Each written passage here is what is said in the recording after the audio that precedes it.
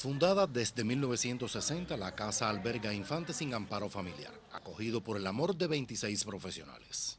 Así lo agradecen quienes llevan más de cuatro años en la casa. Me siento muy bien desde que entré aquí, me lo han dado todo, la comida muy bien, nos han tratado con mucho cariño, si nos enfermamos nos han dado todo. Gracias a ella tengo la carrera que tengo hoy. Yo entré aquí con 12 años, cumpliendo 12 años, eh, me han dado todo lo que necesito eh, me han ayudado mucho en todo lo que he necesitado, hacer las tareas, lo que es la carrera mía, eh, hasta ahora todo, todo, todo bien. La trabajadora social con más de 11 años en el centro siente que los niños son parte de su familia. Me ha hecho ser una mujer más integrada a mi trabajo.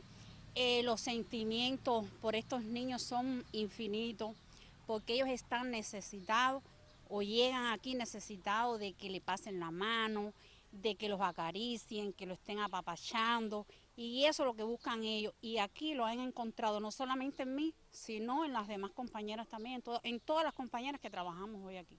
Hasta la casa llegaron integrantes del Sindicato del Turismo para entregar un donativo tras la convocatoria que realiza el gremio del Mintur cada año. Una acción cargada de amor para quienes viven en el hogar de niños sin amparo familiar en Cienfuegos.